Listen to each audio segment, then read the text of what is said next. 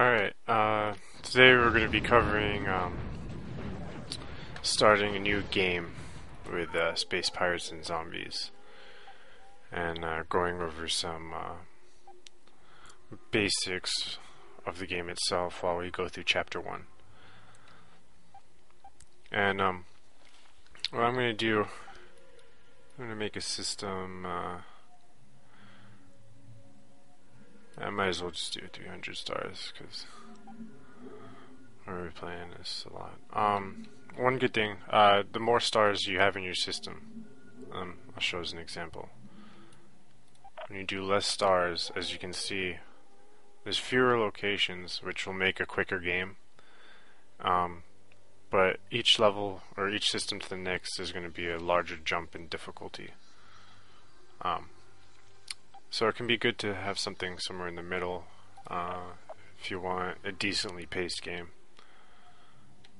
And then if you like the epic style, you can go for 300 stars. I think we're going to go actually closer to 240 here, so... That seems like a decent map for us.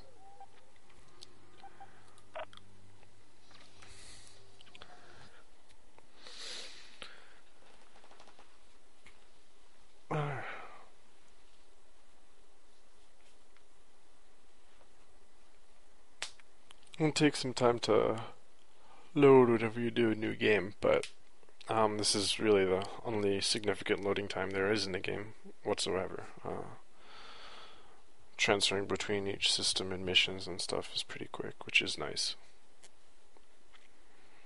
This is a pretty fun game. I've been playing it since uh, beta came out.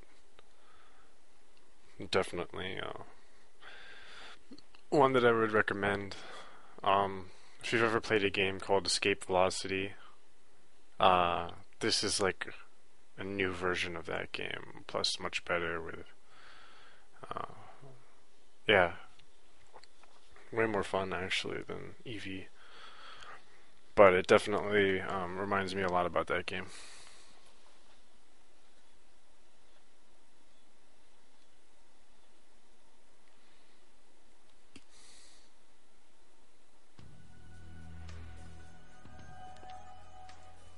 Space is a vast and desolate frontier, covering a seemingly infinite distance. Even the speed of light is dwarfed by the unimaginable scale of our galaxy. It took nearly 250 years to bridge the void between Earth and its closest neighboring star.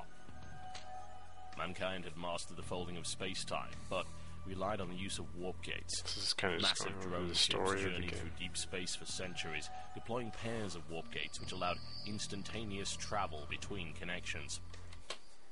Warpgate travel had not become commonplace until the discovery of a stable element, number 126. This element contained bizarre transmutable properties, allowing it to be reconfigured into different forms of matter. This made it the most valuable and sought after commodity in the universe. Mankind quickly became completely dependent on element 126, which the first miners named Rez. Due to the increasing demand for Rez, the Warpgate network became privatized. Anyone with ample funding was able to deploy new and unregistered warp gates.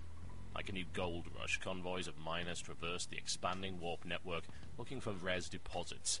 This drove them closer and closer to the galactic core, where rez deposits became richer and richer. A growing number of isolated colonies became unmanageable.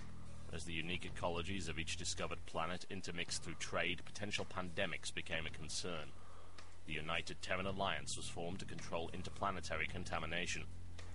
They moved to heavily restrict gate access. Military blockades began to screen all trade ships traveling between gates, attacking any unregistered ships that attempted to use them.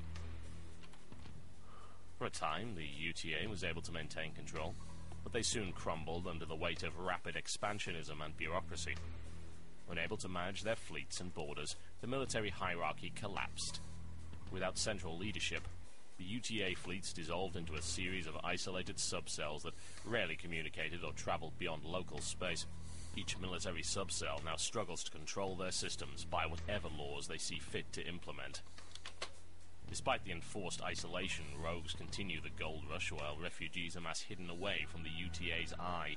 They survive within the vast junk fields of an abandoned Earth, There they build a massive flagship named the Clockwork. With it, they intend to travel to the galactic core in search of a legendary motherlode of rares.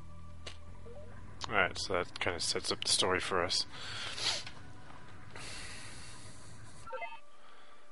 And uh, also kind of explains the three factions in the game, which is uh, the civilians, the UTA, and the pirates, which is us. Um, there's actually the fourth, which is the zombies, but that um, gets covered later. As you can see, we've had a little bit of a disaster.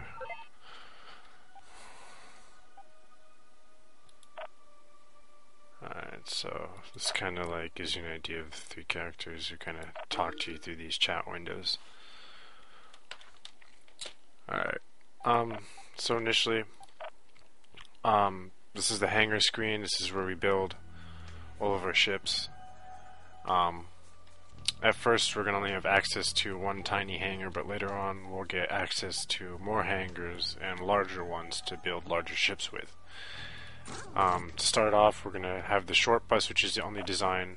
Um, as you can see, these other designs are red and they're locked. Uh, we do not have them yet.